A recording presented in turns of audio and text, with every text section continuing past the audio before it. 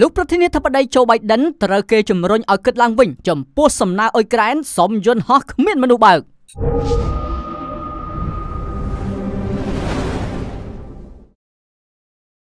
សមាជិកព្រឹទ្ធសភាអាមេរិកមួយក្រុមមានសមាជិក16នាក់បានស្នើឲ្យរដ្ឋបាលលោក Biden ពិចារណាឡើងវិញដោយប្រុងប្រយ័ត្ននៅសំណើរបស់អ៊ុយក្រែនសម្រាប់ជនហោះគ្មានមនុស្សបើក Grey Eagle ដ៏សាហាវដើម្បីប្រយុទ្ធជាមួយនឹងប្រទេសរុស្ស៊ី រហូតមកដល់ពេលនេះរដ្ឋបាល Biden បានច្រានចោលសំណើសម្រាប់ Grey Eagle ដែលអាចហោះហើរបានក្នុងរយៈពេលលើសពី24ម៉ោងដោយផ្អែកលើការព្រួយបារម្ភថាយន្តហោះគ្មានមនុស្សបើកប្រភេទនេះអាចត្រូវបានបាញ់ទម្លាក់និងធ្វើឲ្យចំនួនកាន់តែក្តៅគគុក នៅពេលរុស្ស៊ីងាកទៅរកអ្វីដែលគេហៅថា drone Gaming Gas និងវាយប្រហារហេដ្ឋារចនាសម្ព័ន្ធស៊ីវិលអ៊ុយក្រែនបានអំពាវនាវយ៉ាងខ្លាំងដល់សហរដ្ឋអាមេរិកឲ្យផ្គត់ផ្គង់ដល់ខ្លួនជាមួយនឹងយន្តហោះគ្មានមនុស្សបើកដ៏មានឥទ្ធិពលដែលអាចជួយឲ្យពួកគេទប់ទល់ក្នុងចំនួនបាននៅក្នុងលិខិតមួយសមាជិកប្រសិទ្ធិបានទុកឲ្យរដ្ឋមន្ត្រីការពារជាតិ Lloyd Austin រហូតដល់ថ្ងៃទី30ខែវិច្ឆិកាដើម្បីបញ្យល់មូលហេតុដែលមន្ទីរបញ្ញកោតជឿថាយន្តហោះគ្មានមនុស្សបើកគឺមិនសមស្របសម្រាប់ការប្រយុទ្ធនៅអ៊ុយក្រែននោះទេ នៅព្រឹកថ្ងៃពុធទី23ខែវិច្ឆិកានេះអភិបាលក្រុងនៃតំបន់គ្រីមៀ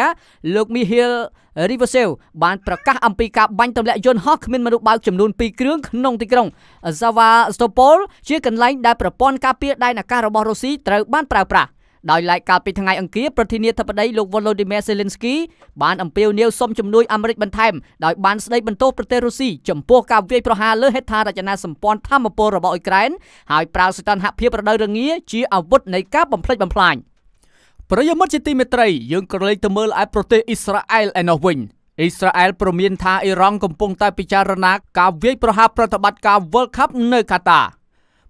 ប្រមុខចារកម្មអ៊ីស្រាអែលបានអះអាងថាអ៊ីរ៉ង់កំពុងពិចារណាវាយប្រហារលើការប្រកួតបាល់ទាត់ពិភពលោកដើម្បីទាក់ទាញចំណាប់អារម្មណ៍ចេញពីការតវ៉ានៅក្នុងប្រទេសដែលបានសម្លាប់មនុស្សជាង350នាក់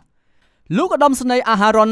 ហាលីវ៉ាបានព្រមានថាក្រុងតេហេរ៉ង់អាចនឹងបើកការវាយប្រហារលើព្រឹត្តិការណ៍ប្រកួតបាល់ទាត់ក្នុងប្រទេសកាតាដើម្បីបង្កើនអស្ថិរភាពនៅក្នុងតំបន់ លោកហាលីវ៉ានិយាយថានៅពេលដែលភាពចលាចលជាសាធារណៈបានកើនឡើងខ្លាំងប្រទេសអ៊ីរ៉ង់ទំនងជាកាន់តែមានភាពកាចសាហាវក្នុងការឆ្លើយតបរបស់ខ្លួន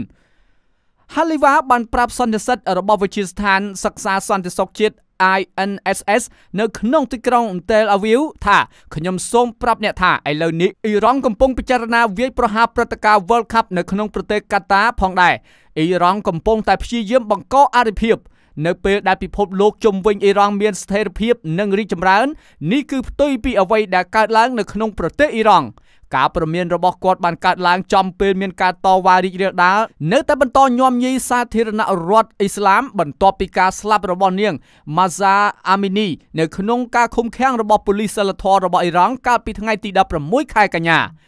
ស្ត្រីអាយុ22ឆ្នាំរូបនេះបានស្លាប់3ថ្ងៃបន្ទាប់ពីការចាប់ខ្លួននៅក្នុងទីក្រុងតេហេរ៉ង់ពីបទរំលោភលើក្រមសីលធម៌ស្លៀកពាក់អ៊ីស្លាមសម្រាប់ស្ត្រី។